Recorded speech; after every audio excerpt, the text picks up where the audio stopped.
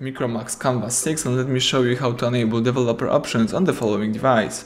So at the very beginning let's start by using your home screen. Find and select the apps icon.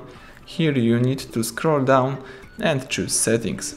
Then scroll down again and from the following options you need to find and select about phone. That's it, from the following options let's find build number and let's tap a couple of times on build number.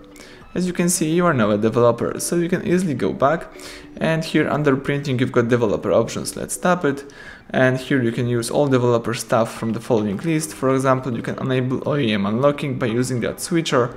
Let's tap enable. Let's also, for example, allow USB debugging by using that switcher tab OK. And you can use other developer tabs such as allow mock location app or enable view attribute inspection.